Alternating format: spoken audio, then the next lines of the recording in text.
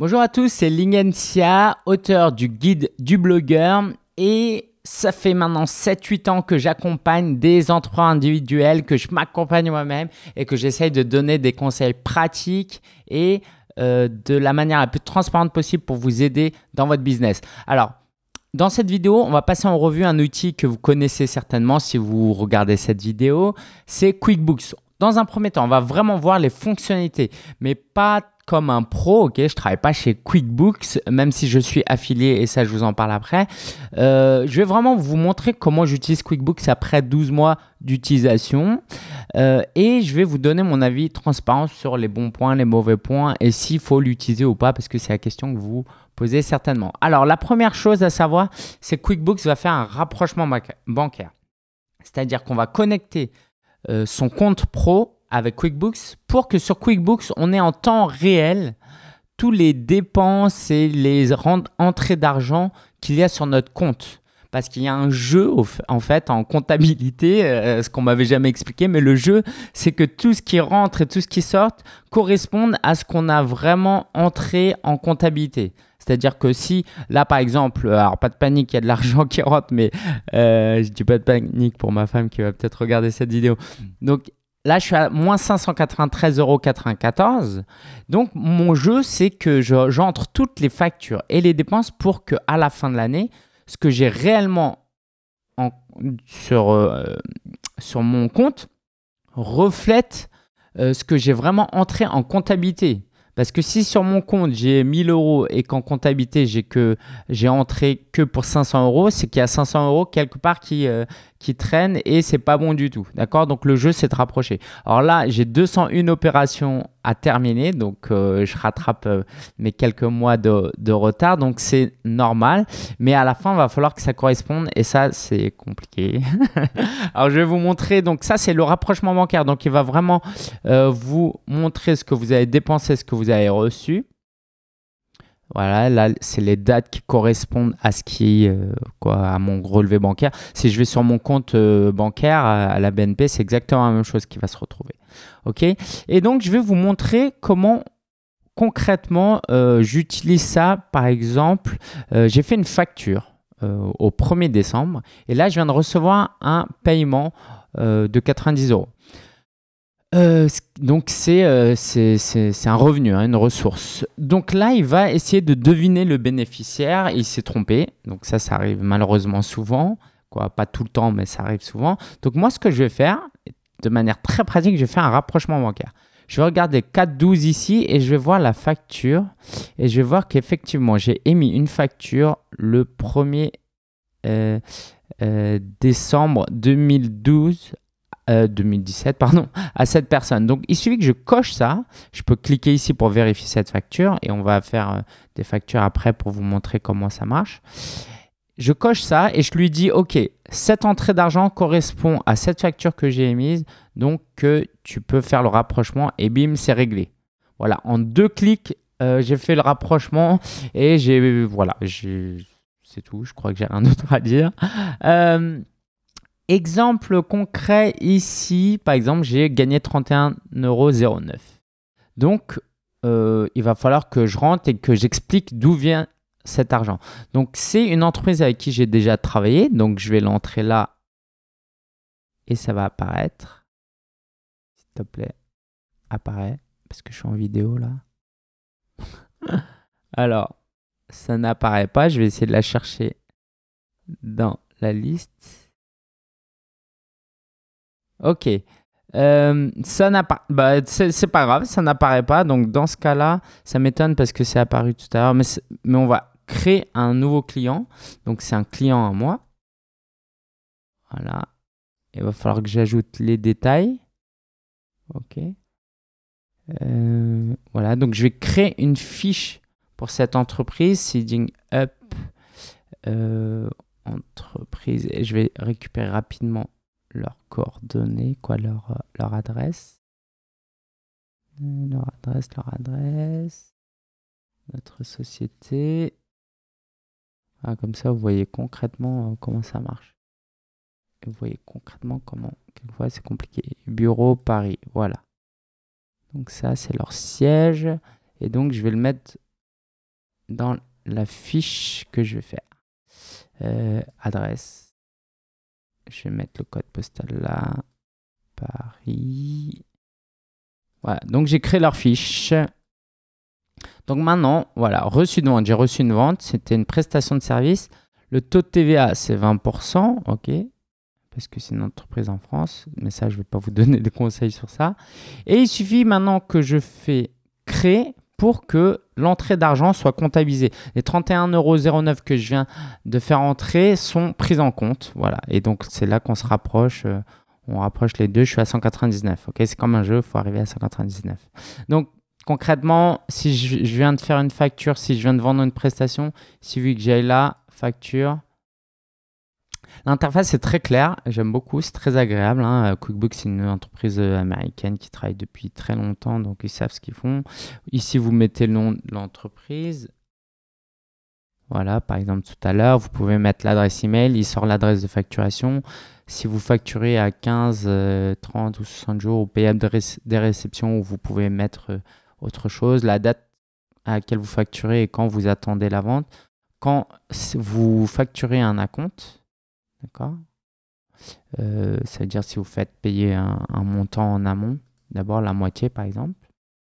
Vous pouvez aussi accepter les paiements en ligne. Alors très franchement, je ne suis pas super convaincu pour le moment parce que quand j'ai utilisé, ça n'a pas marché. Et ici, vous mettez votre produit. Donc là, par exemple, si c'est une commission d'affiliation, ça, c'est ce que vous vous mettez vous-même. Vous pouvez faire ajouter. Donc ça, c'est moi, mes propres produits. Si vous vendez des baguettes, vous mettez baguettes. Ici, par exemple, je vais mettre septembre 2017. Voilà, je vais mettre le prix unitaire et je peux le mettre en hors taxe et il me fait la conversion en fonction de la TVA. D'accord, il y a différentes options. Voilà, il va me sortir la TVA ou je peux mettre en TTC. OK. Voilà. Vérifiez bien avant de valider. Vous pouvez joindre une pièce jointe et à la fin, bah, je ne vais pas le faire parce que sinon ça va le créer. Vous pouvez créer ici, imprimer, bref, vous avez plein d'options. C'est très simple, très clair d'utilisation. Une fois que vous avez pris en main, euh, cela c'est top. Alors juste avant que j'oublie, sachez que vous pouvez contacter l'assistance ça peut-être pas leur plaire, mais ils sont pas genre hyper hyper réactifs. Hein euh, mais vous pouvez contacter et il y a plein de, de, réponses déjà faites qui vous, qui vous évitent de, de contacter si vous avez besoin. Mais on m'a proposé une solution qui peut être très bonne et qui les arrange, j'imagine, et puis qui arrange tout le monde. C'est qu'ils ont un support QuickBooks.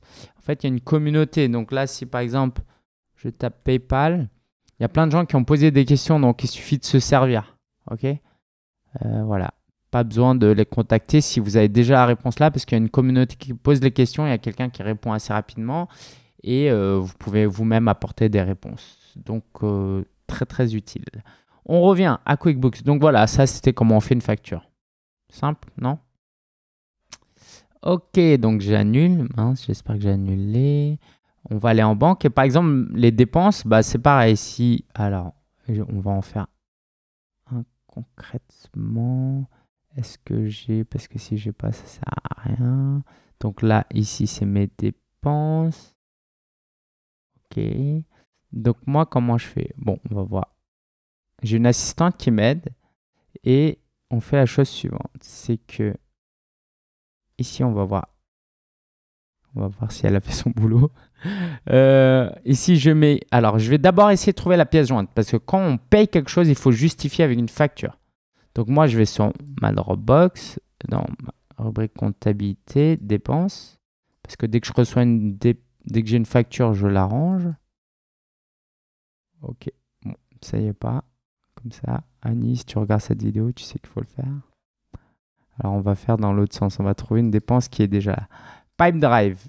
14 euros octobre. OK. 14 octobre. Pipe Drive. Pipe Drive.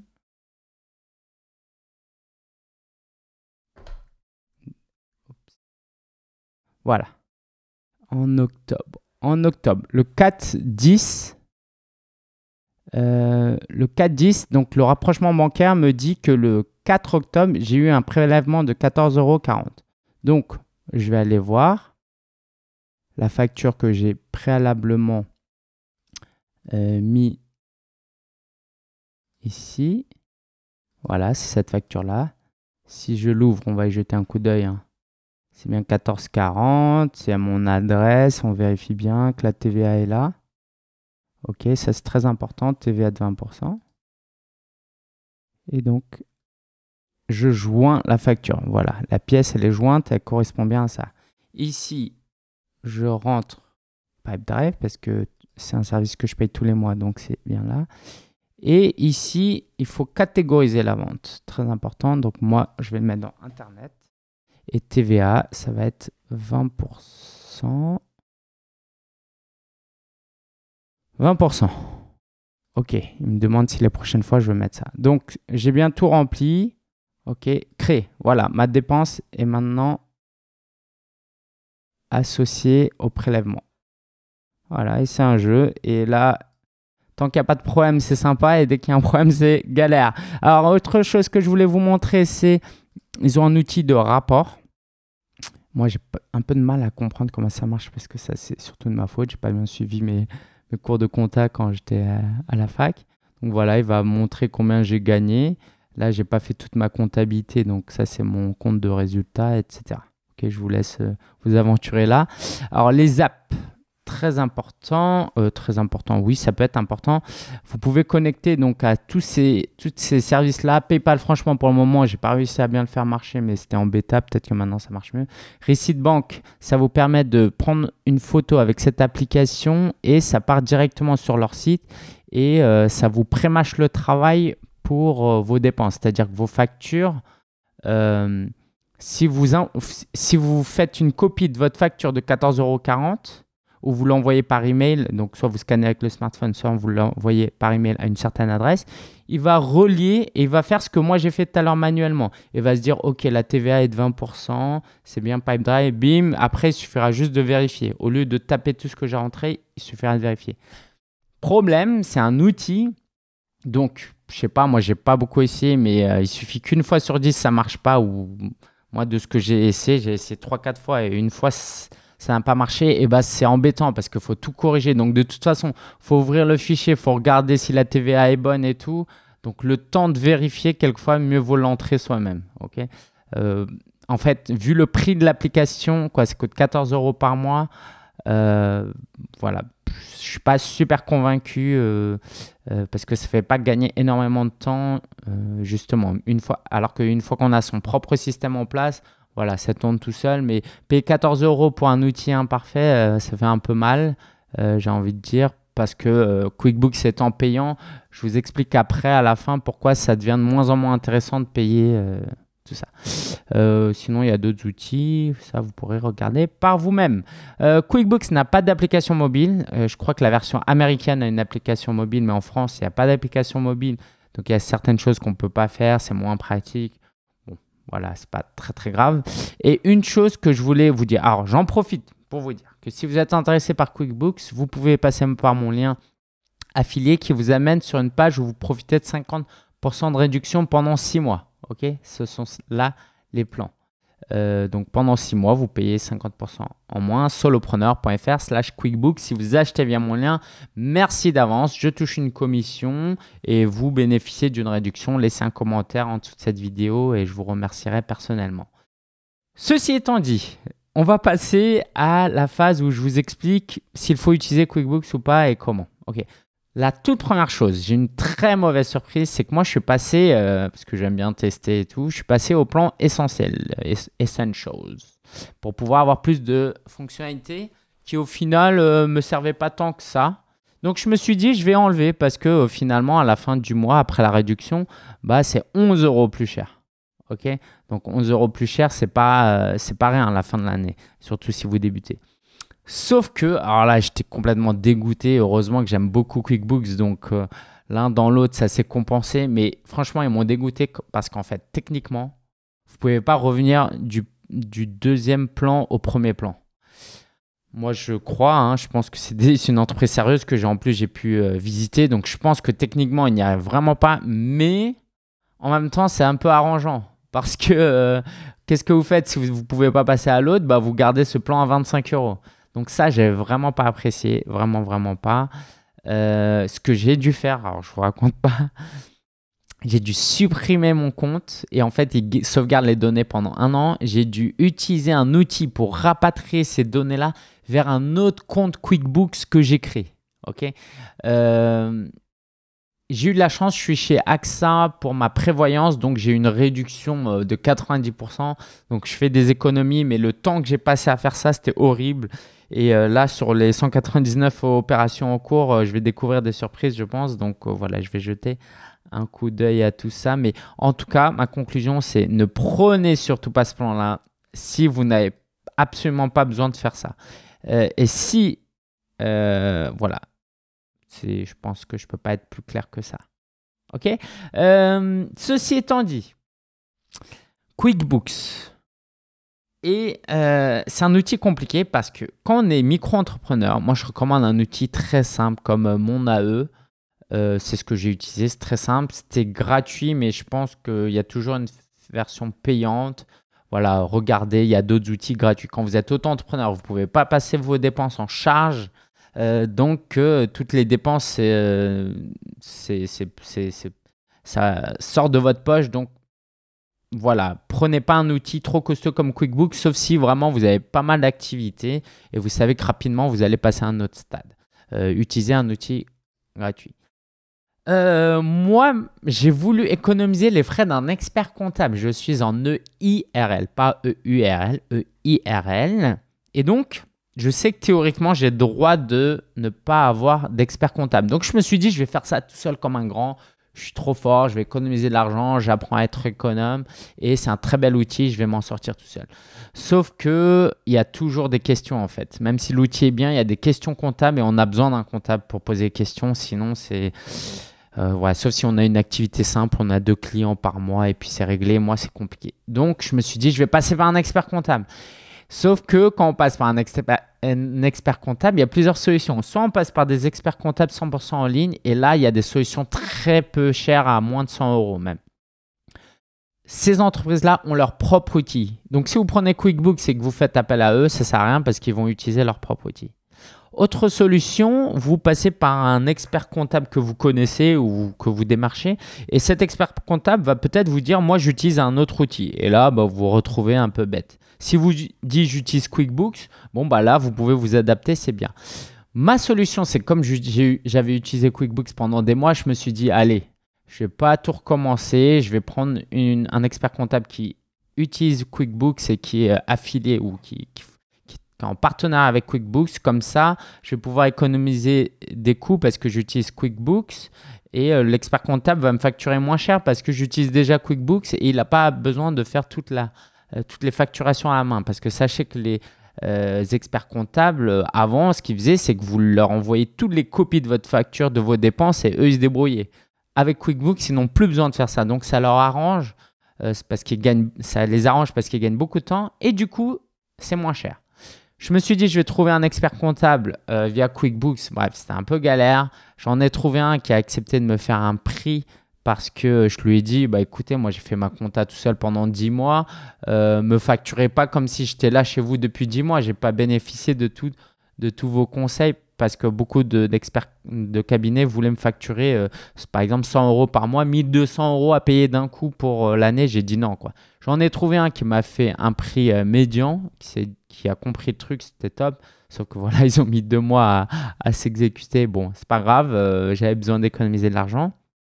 Et du coup, j'utilise QuickBooks avec eux.